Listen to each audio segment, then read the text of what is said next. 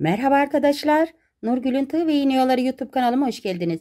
Eğer kanalıma abone değilseniz abone olmayı, emeklerim için de beğeni ve yorum yapmayı unutmayalım. Sağ alt köşedeki kırmızı abone ol butonuna basarak abone olabilir, zil butonunu açarak da çektiğim videolardan haberdar olabilirsiniz. Evet arkadaşlar kanalıma abone olmak ücretsizdir. Zil butonunu aktif hale getirerek de attığım tüm videolardan ilk önce siz haberdar olabilirsiniz. Bugün size yine bir kalem oyası tasarladım arkadaşlar. Modelim de şu şekilde. Hazırladığım modelim de bu şekilde. Modelim bir kalem oyası modeli. Şimdi arkadaşlar bu model o kadar çok sipariş alıyor ki. Bir de e, bu modelin özelliği her rengin üstüne bu çiçekleri yapabilirsiniz. Mesela siyah tek renk tülbentin üzerine Tek renk olunca daha güzel kendini belli arkadaşlar. Siyahın üzerine her renk yapabilirsiniz. Morunu, sarını, sarı rengini, e, mavisini, pembesini her rengi siyahın üzerinde bu şekilde kırmızı yerine kullanabilirsiniz. Ama mesela tek renk lila yaptığınız zaman yeşil kısmını tülbentinizin e, e, zaten bu yeşil kısmı beraber gidiyor. Bakın tığlamasıyla beraber gidiyor kalem oyamız. E, üzerini de e, iki seferde gidildiği için üzerini de lila renginden gideceksiniz. Altını mesela lila rengi tülbente yeşil üstünü lila veyahut da mavi rengi tülbente yine kalem oyasını yeşil renginle üzerine e, mavi renkle. O kadar güzel oluyor ki arkadaşlar inanın sipariş almaya yetişemeyeceksiniz. Her aldığınız kişi muhakkak en az iki tane muhakkak bu modelden size sipariş verecek. O kadar yani güzel, hoş ve zarif duran bir model. Tülbentlerde çok hoş duruyor. Gördüğünüz gibi çiçek baharı gibi. Ütülenmediği halde bu şekilde acil hemen yaptım arkadaşlar. Hiç ütü falan bakın hiç görmedi. Bu şekilde hemen sizlere gösterdim. Şimdi modelimizin de anlatım kısmına geçerek nasıl yapıldığını öğrenelim. Şimdi ilk başlarken arkadaşlar bu şekilde 12 tane tığ battı yaparak başlıyorum. Ee, bu 12 olacak arkadaşlar. 13 olsa 11 olsa e, eksik olur bir tarafı. O yüzden 12 tane tığ battı mesafe vermeye dikkat edin. Bakın 5.'nin içine battık. 6, 7, 8, 9. Toplamda 9 tane tığ battı yapmışız. Şimdi bunu sizle beraber 12'ye ben tamamlayacağım. Bu şekilde tığ battımızla tülbentimizi kıvırarak da yapabiliriz. Veya kıvrılmış tülbentin üzerine dikilmiş tülbentin üzerine de yapabiliriz. İki zincirimi çektim. Hemen şöyle bir iki zincir mesafesi bırakıp bu şekilde tığ battı yapıyorum. Bir, iki zincir. Orta boy arkadaşlar. Ne küçük ne büyük. Şöyle mesafeyi bırakıp tığ battımı hazırlıyorum. Bu şekilde 12'ye tamamlıyoruz. Hem tığlama işlemini hem de şimdi çimenini yapmış oluyoruz. Şimdi arkadaşlar bakın bir zincirimi çektim. Şimdi bir şey söylemek istiyorum. Şöyle Bakın e, buradan direkt zincir çekip iki tane bırakanlar var. E, burası aşağı meyilli oluyor o zaman. Bak burası tığ battıda burası da tülbentin ucunda olduğu için e, meyil, meyilsiz oluyor benim baktığım modellerde. O yüzden bakın muhakkak unutmayın arkadaşlar. Tığ battığınızı yaptınız ya. 12'yi yaptınız. Şöyle bir zincirle çevirip pardon arkadaşlar. Bir zincirle hemen buradaki muhakkak tığ battığınızın içine girin. Zinciri çekmeye başlamadan önce şimdi batacağımız tığ battı olduğu için bir tümsek oluşacak. Bu da yerde olduğu için alçakta kalacak. O yüzden muhakkak dönüp bu tığ battının üzerine ikisini aynı seviyeye getirmeniz lazım. Umarım demek istediğim anlaşıldı arkadaşlar. Şimdi buraya 10 tane zincir çekiyorum bu şekilde. 4 5 6 7 8 ve 9 ve 10. Evet zincirimi çektim. Bakın ortada bir tane tığ battı boş bırakıyorum. İkinci tığ battımın içine bu 10 zincirimi bu şekilde sık iğne ile sabitliyorum. Bir zincirimi çektim. Hemen yine düz yüzüne döndüm. Buradaki yuvanın içine de bir tane sık iğne ile buraya sabitliyorum. Şimdi yuvanın içine arkadaşlar buraya 10 tane ilmek toplayacağız. Bir zincirimin üzerinden şöyle ilmeğimi çıkarıyorum. Kalemimi alıyorum. Bu siz kırmızı kalemle de yapabilirsiniz arkadaşlar. Bakın bu ilmeğimizin boyutu kırmızı kalemle de bu şekilde olur. Şimdi bu ilmeklerimizin bir de bir şartı var arkadaşlar. Çekilmiş ve sökülmüş ipiniz eğer olur ya hani arkanızdan sökülür eder koyduğunuz işiniz. Muhakkak bunu böyle gerdirerek ipi şöyle esneterek şöyle arkadaşlar ince hale getirin. Hem o sökülen yer ütülü gibi yeni gibi düzelir. Hem de çıkardığınız zaman bu ilmeklerimiz kalıp gibi çıkmış olur. Umarım hani demek istediğimde anlaşılıyordur. Bakın buradaki yeşil yuvanın içine giriyorum. Şöyle kalemimi tutup size daha net görüntü vereyim. İki zincirimi çektim dibine ve ilmeğimi uzatıp kalemime geçiriyorum. Şöyle ilmekleri de birbirine yakın yaparsak daha güzel durur.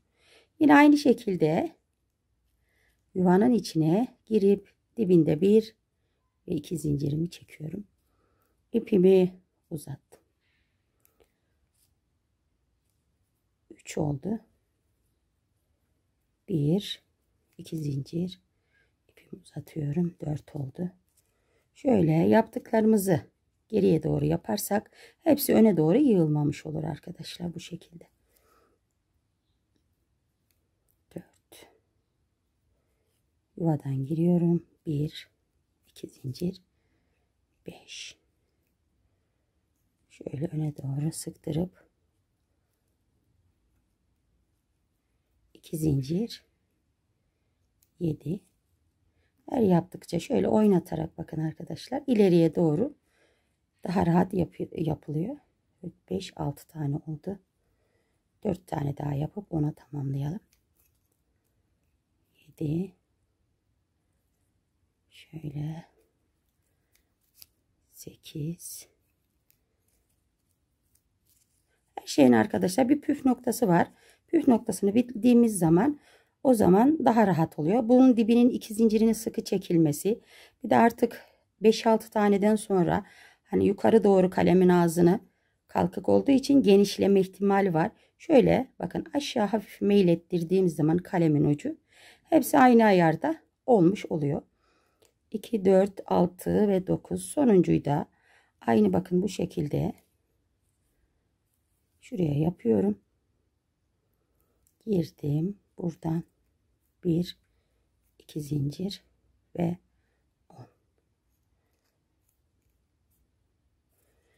Yine aynı bakın arkadaşlar. Bu 10 zincirli hazırladığım yuvanın içine bu şekilde 3 zincir çektim. 10 tane ilmekten sonra 3 zincirimi çekiyorum.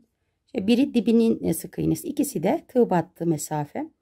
Ve şöyle tığ battı mesafesi ileri gidip bakın buraya bir tane tığ battı yapıyorum.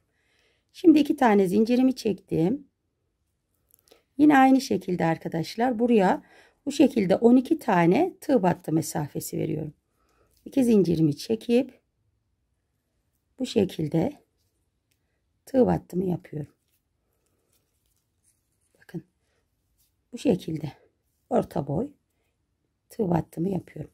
Şimdi kalemimizden çıkaralım. Bakın arkadaşlar burada 10 tane bu şekilde hazırladık. Gördünüz mü arkadaşlar püf noktasını. Dibinin zincirinin sıkı çekmesini hepsinin bir ayarda olması da kalemi hafif aşağı doğru ağzını eğerek genişlememesini. Çünkü ilk taktığımız zaman 3-5 tanesini gayet küçük oluyor. Sona doğru herkes e, genişlediğini söylüyor. Genelde de öyle oluyor zaten yapınca arkadaşlar. O yüzden her yaptıkça 5'ten sonra şöyle kalemin ucunu şöyle aşağı meyil ettirip şöyle hafif elinizle kımıldattığınız zaman gayet oturuyor dibine. Hepsi aynı ayarda. Bu şekilde kirpiklerimiz hazırlanıyor. Demek istediğim anlaşıldı. Aralarına 12 tığ battı. Sonra arkadaşlar geriye dönüp 3 tanesine tığ battının yuvayı hazırlayıp 10 tane de bu şekilde ilmek alıyoruz. Sonra yine 12 tane tığ battı yaparak devam ediyoruz. Evet şimdi kırmızısının yapımına çiçeklerimizin yap yapımına geçelim arkadaşlar. Evet arkadaşlar bakın 5. tığ battının içine sık iğne ile ipimi sabitledim bu şekilde. İlk başlarken de aynı bu şekilde 5. tığ battının içine sık iğne ile ipimi tutturdum. Burada da aynı şekilde şimdi buraya arkadaşlar örümceğimi yapmadan önce muhakkak bir tane zincir çekiyorum. Şöyle örümceğimin daha düzgün güzel gözükmesi için bu zincir şart arkadaşlar. ütüsü olsun, kullanımı olsun rahat oluyor. Ve buradan ilk bakın ilmekten bu şekilde sabitliyorum. Bir, iki tane zincir. İkinci ilmeğimin içine de aynı şekilde sık iğne ile buraya sabitledim. İki zincirden buraya yuva hazırladık ve 5 zincir çekiyorum. 2 3 4 ve 5. 5 zincirimi şöyle çeviriyorum. Bakın arkadaşlar bu şekilde tığ bat şey iki zincirli yuvanın içine 5 zincirimi sık iğne ile sabitledim. Buraya 5 zincirden yuva yaptık. Şimdi 5 tane zincir çekerek kirpiğimizi hazırlayacağız. 1 2 3 4 ve 5 zincir. Çektim 5 zincirimi şöyle çevirdim. 5 zincirli yuvanın içine sık iğne ile sabitledim. Buraya bir tane kirpik hazırladım. Yine 5 zincir çekiyorum. Ve bakın yuvanın içine sık iğne ile sabitliyorum. Yine 5 zincir. Bu şekilde buraya 5 tane kirpik hazırlıyorum. 3 1 2 3 4 ve 5 zincir. 5 zincirimi kapattım. Bu şekilde sık iğne ile sabit. 1 2 3 4 ve 5. Hemen kapatıyorum bu şekilde. Evet. Bakın 5 tane kirpiğim bu şekilde hazır ve yine 2 tane zincir çekiyorum. Şöyle sıkı sıkı iki zincirimi çekiyorum. Rahat görmeniz için katlamıştım arkadaşlar. Birincisini hazırladık. İkincisi için şöyle diğer ilmeğimin içine girip sık iğne ile sabitledim. Yine iki tane zincir çekiyorum. Bir, iki zincir. Hemen sıradaki ilmeği alıp sabitledim. İki ilmeğe bir tane yuva kuracağız arkadaşlar. Bu şekilde her iki ilmeğe bir tane yuva hazırlayacağız. Yine aynı şekilde buraya 5 tane zincir çekiyorum. Çevirdim. Bu 5 zincirimi 2 zincir çekmiştik ya. Şöyle oraya sık iğne ile sabitliyorum. Evet, buraya bir 5 zincir de yuva hazırladık. Yine 5 zincir çekerek düz yüzüne dönüyorum. Arka tarafında çekince daha güzel duruyor arkadaşlar. Önden ziyade. Yine aynı şekilde buraya 5 tane arkadaşlar kirpik hazırlayacağım. Bu birinci. 5 zincir. Hemen bakın yuvanın içine sabitliyorum. Yine 5 zincir. Yuvanın içine sabitliyorum. 5 zincir.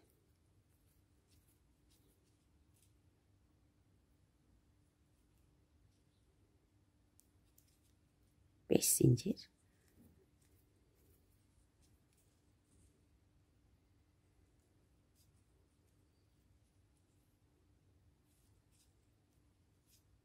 İkinci yuvamı da hazırladım bu şekilde. Yine iki zincir çekiyorum. Diğer ilmeğime geçiş yaptım bakın. Yapımı da çok kolay arkadaşlar. Çok da güzel çiçekler oluşuyor bu şekilde. Yine iki zincir. Yine sıradaki ilmeğimden tutup bu şekilde hazırlıyoruz. Bakın arkadaşlar. Aynı işlemi şimdi buraya da dönüp şöyle sonuna kadar yapalım. Evet arkadaşlar bakın gösterdiğimiz gibi bu şekilde iki zincir çekerek ilmekleri aldım. Şimdi sonuncuyu da beraber yapalım. 5 zincir çekiyorum bu şekilde. 2 3 4 ve 5. Şöyle ters çevirdim. Bakın. Hemen iki zincirli yuvanın içine birisi zaten iki zincirin geçiş için diğer ilme. Birisi de bu çiçeğimizin yuvasını yapmak için bu şekilde arkadaşlar. iki ilmeği kullanıyoruz. Sık iğne ile bu şekilde sabitliyorum. Buradaki püf nokta da arkadaşlar bakın dibindeki bu kapattığımız noktayı çok sıkı kapatırsanız yuvanız güzel bir yuva olur. Böyle gevşek ipler e, sağlanmış bir şekilde gözükmez. Bu sık iğnesini sıkı kapatmaya dikkat edin. Yine 5 zincirimi de sıkı bir şekilde çekiyorum. 5 zincirimi çektim. Sıkı çekmemin sebebi de kirpiklerimin bu şekilde böyle kalıp gibi çiçek gibi durmasının sebebi. Hemen bu 5 zincirli yuvaya bu şekilde sabitledim. Benim çiçeklerim düzgün durmuyor derseniz o zinciri gevşek çektiğinizden söküp oyayı arkadaşlar ipinizi esnedip bu şekilde sıkı sıkı zincirler çekerek güzel bir çiçek görünümlü bir kirpikler elde edersiniz. Zaten bir iki tane de yapınca eliniz alışır. Diğer güllerde daha muntazam bir işler çıkarırsınız. Yine 5 zincir. 5 zincirimi çekip hemen buraya sabitliyorum. Bakın. Sık iğnemi şöyle dikkat ediyorum. Daha sıkı yapmaya. 1 2 4 ve 5 zincir. Beşinciyi de yine aynı bakın. Buraya sık iğne ile sabitliyorum. Hemen arkadaşlar yeşil yuvaya da iniyorum. Bir sık iğne de oraya yapıyorum. Şöyle her örümceğimde olduğu gibi dibine muhakkak bir zincir çekiyorum ve orta boy size göre belki miniktir arkadaşlar. Bu şekilde örümcek yapıyorum. Örümceğimi şimdi sayıyorum 5. tığ battımın içine. 1 2 3 4 ve 5. Bu şekilde 5. tığ battımı tam karar geliyor arkadaşlar ve sık iğne ile sabitliyorum. Şöyle size göstermek için 3 zincirimi çekip bitiriyorum. Şöyle koparalım. Evet arkadaşlar modelim bu şekilde gördüğünüz gibi. Şöyle ipi yakar yakmaz hemen karşınıza geldim. El ütüsü dahi şöyle düzeltme işlemi yapmadım arkadaşlar. Kestiğim gibi hemen karşınıza getirdim. Şöyle bakın Arkadaşlar bu dip kısmındaki yeşili temel hani düzgün atılırsa binada o şekilde düzgün e, gider hesabı. Şöyle kalem e, yaparken sıkı sıkı dibindeki zincirlerini sıkı sıkı çekerek yaparsanız şöyle temeli sağlamı güzel olduğu için üst kısımları da güzel bir şekilde gördüğünüz gibi çiçek gibi açılıyor. Tabi bu sizin el becerinize de bağlı bir şey arkadaşlar sizler daha da güzelini yapabilirsiniz. Modelim bu şekilde. Ee, dediğim gibi bu modeli yapın. Başınıza takın. Sipariş alıyor musun? Yapıyor musun? Diyenden geçemeyeceksiniz. Çok hoş, çok güzel, çok zarif oldu. Çok da kolay. Kalem oyası üzerine de tek sıra hiç ip koparmadan bu şekilde çiçeklerle devam edeceksiniz. Hem kolay hem de gösterişli model isteyenler için bunu tavsiye ederim arkadaşlar bu şekilde. Bakın çok hoş ve zarif bir model oldu. Çok beğendiğim modeller içinde oldu. Evet şöyle geriden hepsini de alabilecek kadraja girecek şekilde göstereyim arkadaşlar. Evet Allah'a emanet olun. Emeklerim için beğeni ve yorum yaparak bana destek olmanızı bekliyorum. Hoşçakalın arkadaşlar.